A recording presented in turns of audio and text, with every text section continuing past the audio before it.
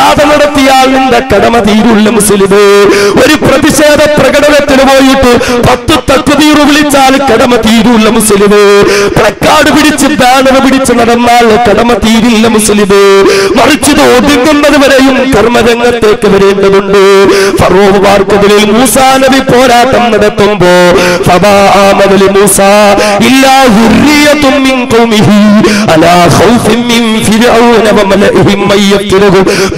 നബി അലൈഹി സ്വലാത്തു പോരാട്ടം നടത്താൻ അന്ന് കൂടുണ്ടായിരുന്നത് ചെറുപ്പക്കാരായിരുന്നെങ്കിൽ അന്ന് കൂടുണ്ടായിരുന്നത് ചെറുപ്പക്കാരായി ചെറുപ്പക്കാരുകളായിരുന്നെങ്കിൽ വർത്തമാന കാലഘട്ടത്തിലെ ഫറോമാർ ജീവിക്കുന്ന ഈ രാജ്യത്ത് മാനികാവേശത്തോടെ നമുക്ക് കർമ്മരംഗത്തേക്ക് ഇറങ്ങേണ്ടതില്ലേ?